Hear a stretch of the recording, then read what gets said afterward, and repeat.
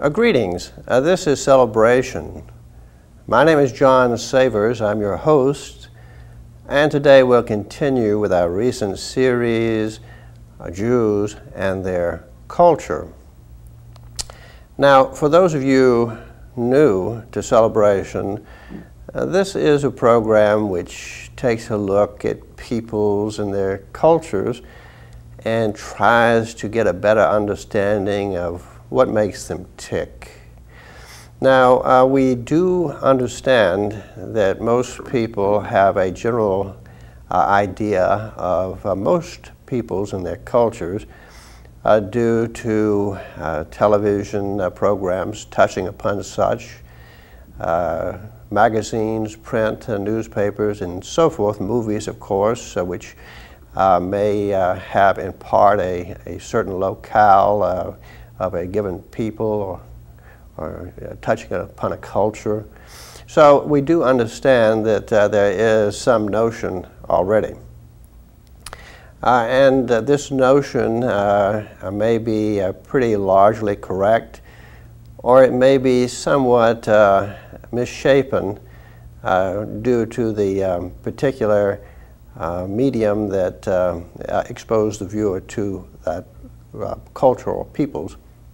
At any rate, uh, we are trying to bring forth uh, uh, another look, uh, sources perhaps you are not familiar with.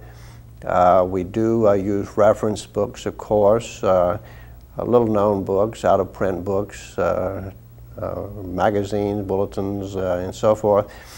and try to bring forth cre credible information which does provide a clearer understanding. Uh, and in that sense, uh, Celebration is an educational program.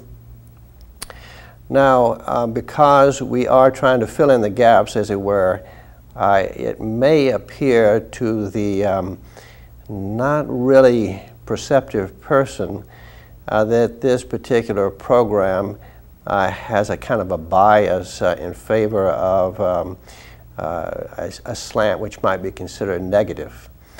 Uh, this is not true at all. We are, however, trying to fill in the gaps, and most of the gaps that occur are in the way of uh, obscuring or uh, obliterating uh, these negative aspects. To have a well-rounded uh, view, you need both the positive and the negative. Uh, and hopefully, um, when everything is put into play, uh, they sort of uh, uh, neutralize one another and you have a generally positive or, or neutral view toward this particular peoples or cultures. Anyway, you do have a better understanding. So on that note, uh, we will proceed. Now we've talked about uh, Jewry and according to the flesh, uh, and I will say in passing as a sort of um, uh, addition, um, a footnote, if you will, uh, on that particular aspect. Um, uh, there, there seems to be a tendency sometimes to uh, place Jewry as being issuing uh, from a single source. Uh, and I think this is entirely wrong. What makes a, a modern Jew a Jew is not the flesh from which he comes or she comes, but uh, adherence to the Talmud uh, slash Kabbalah. Uh, and um, uh, uh, this is the formative uh, material.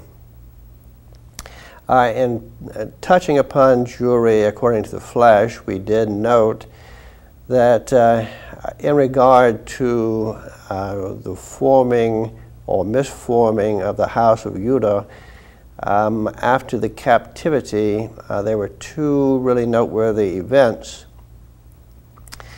But uh, even prior to that, there was a noteworthy event, and that happens to be the whereabouts of the Canaanite people uh, in Canaan, who was cursed by Noah uh, did produce a number of children. I think something in the order of 10 or 12, uh, quite a lot, some of whom appeared to, to have disappeared, uh, and uh, where they went to, no one seems to be particularly interested. Now, I don't know either. I have hypothesized that some had gone um, possibly as traders, uh, basically, uh, to um, uh, the area of the Balkans and so forth. But I thought that the great bulk of the Canaanites drifted toward their kinfolks in Edom and in Egypt, and possibly even further into Libya and south of Egypt. Um, we, we find that uh, uh, Esau had taken Canaanite wives, uh, and although Edom refers to Esau by name, uh, the Edomites are the seed of Esau, uh, it's not just a one-way seed line here because uh, Esau did marry Canaanite women who contributed their own, shall we say, uh, DNA line, uh, um, their own seed line, as it were. So uh, these came together, uh, and I think that what became known as Edom was primarily a Canaanite population. Uh, we have also in the earlier program discussed the Jews of Elath as most probably uh, descending from Judah, the son of Jacob Israel, who married Surah, Surah the Canaanite woman, uh, and producing uh, some non-Israelite uh, or half-Israelites uh, outside the congregation, amongst which uh, we find Shelah.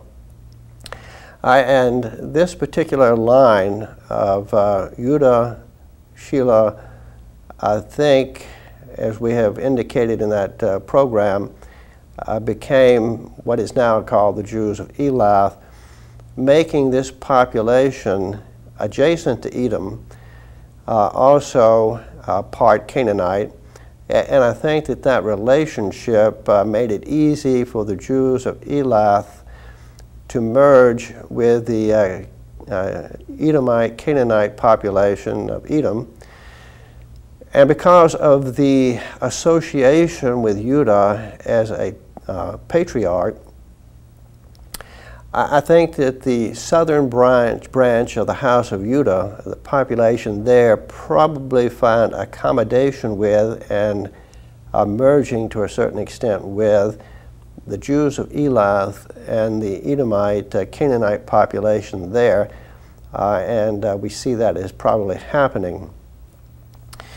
Um, now, uh, we just add that, uh, and then we, we have the Assyrians taking away 200,000 of uh, the house of Judah from the outlying areas, I think probably mostly of the northern areas, off to Assyria with the, um, the house of Israel.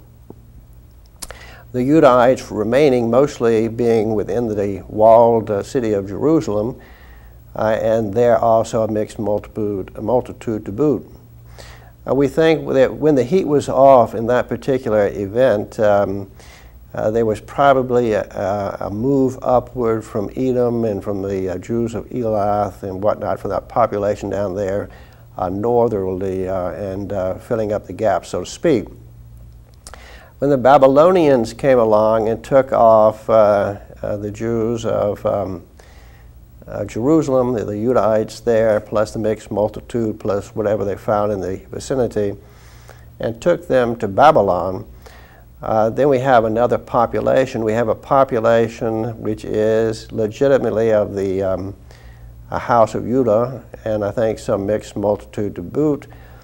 Uh, and after the business of Haman uh, had been concluded, the Bible relates how many Chaldeans, to save their skins, converted uh, to um, a Jewry. Uh, and therefore, uh, we have another uh, change in the population, uh, a change that probably was not as drastic uh, as the changes that were taking place in and about the old you know, land of Canaan and Palestine, generally speaking, as we, we think of it. So uh, we do uh, state this, and of course it's well known that um, uh, the, uh, the population of Khazaria, that uh, empire was um, uh, converted to Judaism. Why did this happen?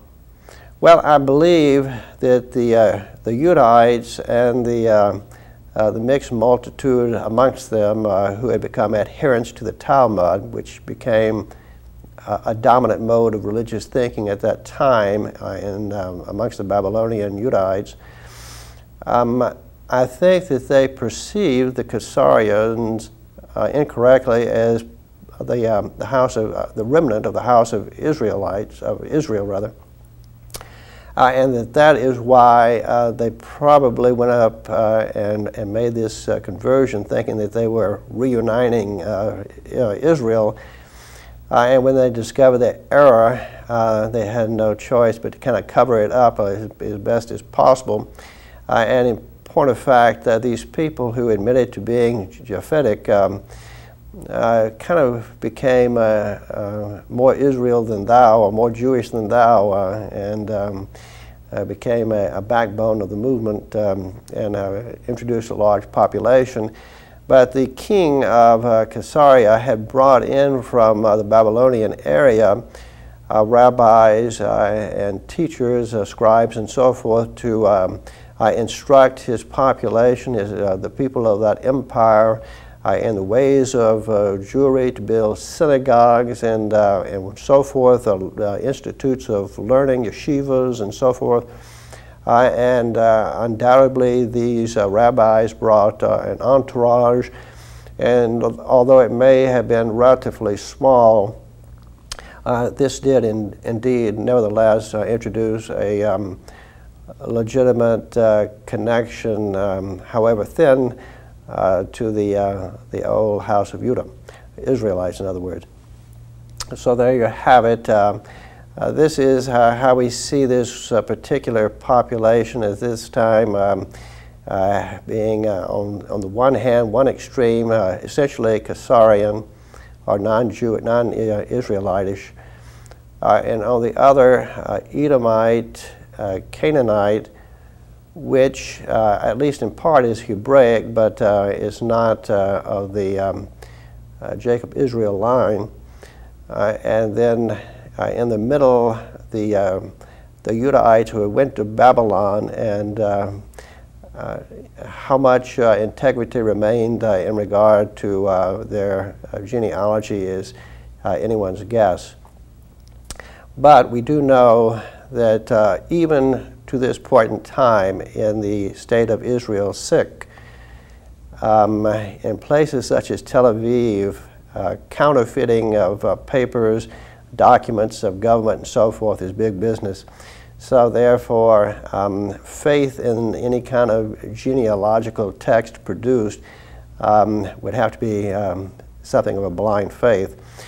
But at any rate, uh, we did touch upon uh, Jewry in a physical sense, uh, which I've just done. Uh, and then we turn to um, uh, Jewry according to uh, ideas. and we have touched mainly upon what we think most essential, those dealing with the Talmud and the Kabbalah.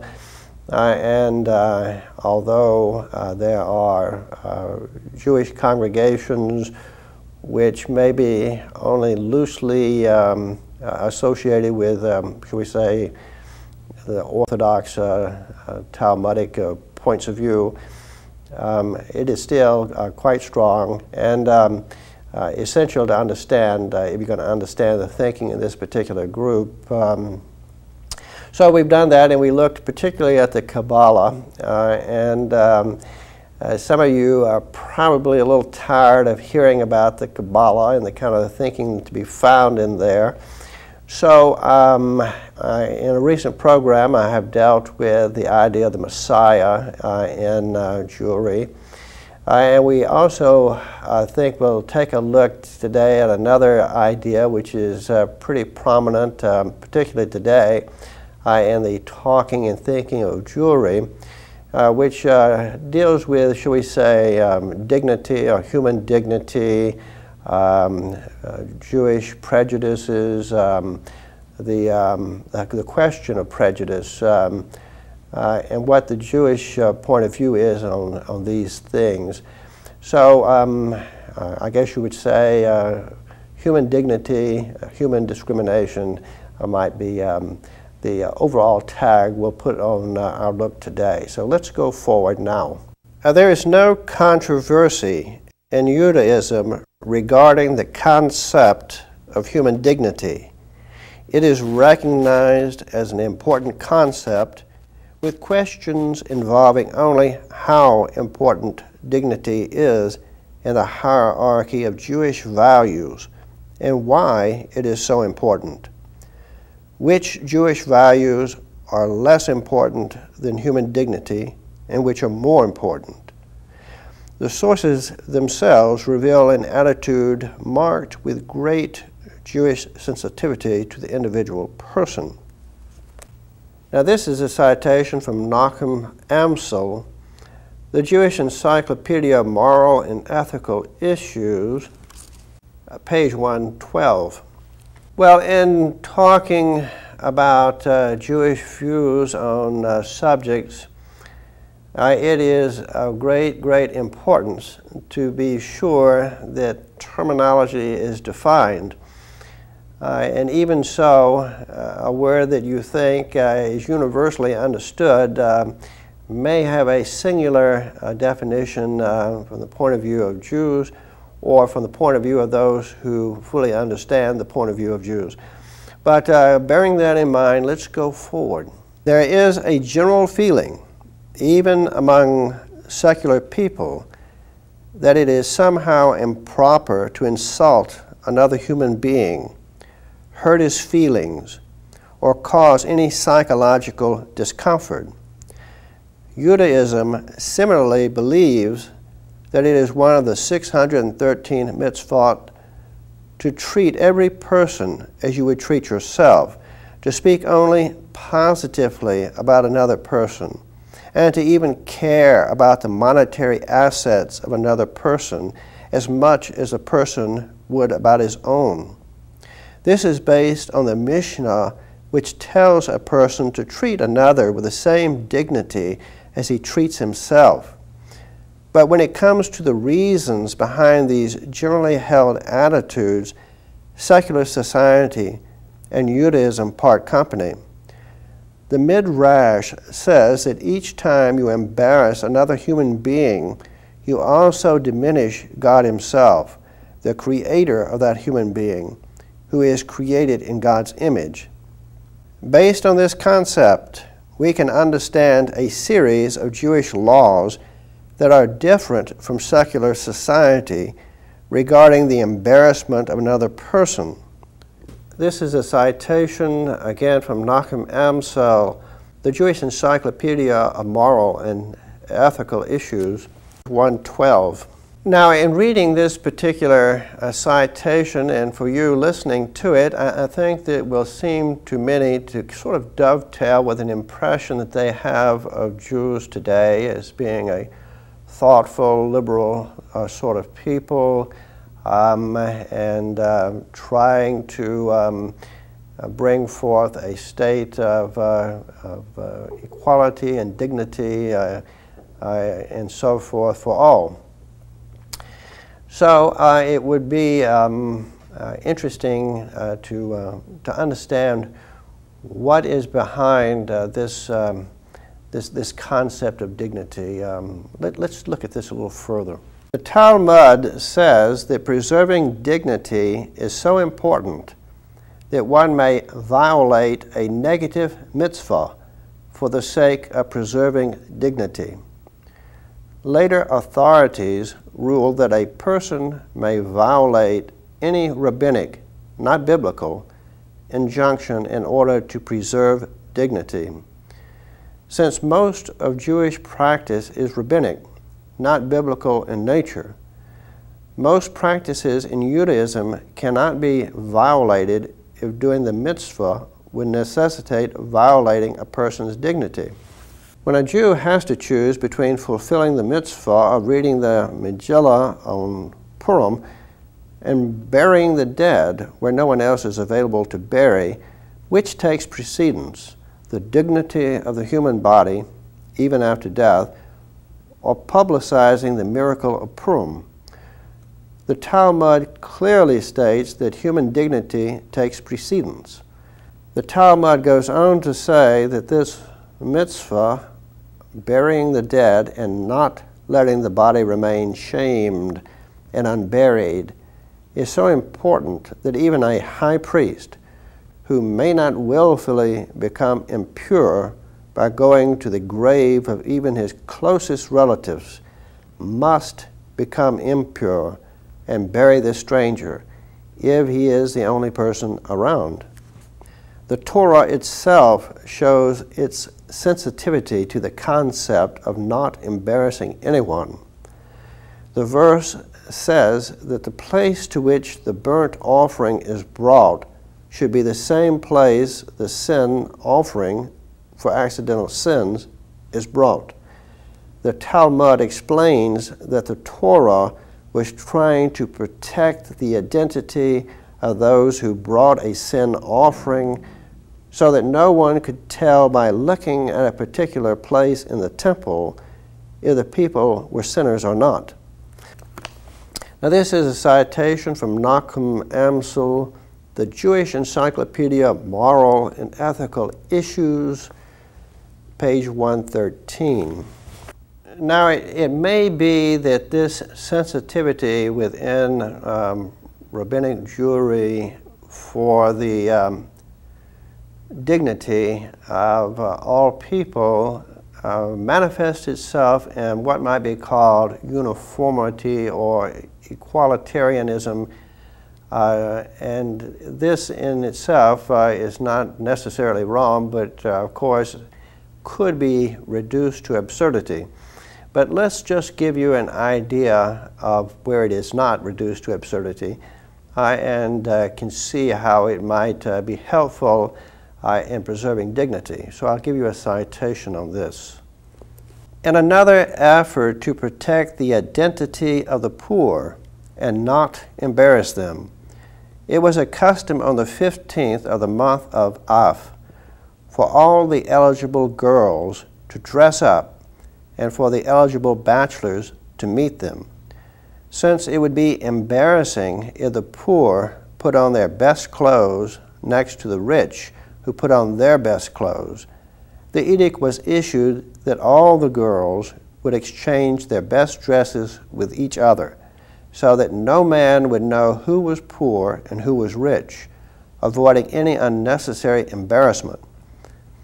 On a daily level, the manner in which a person properly fulfills the mitzvah of tzedakah, Jewish charity, depends on maintaining the dignity of the poor person.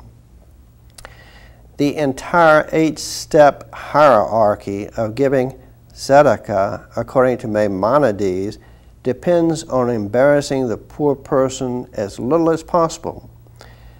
That is why the highest level of tzedakah is giving the poor a job or a loan this is a citation from Nachum Amsel, the Jewish Encyclopedia of Moral and Ethical Issues, page 114.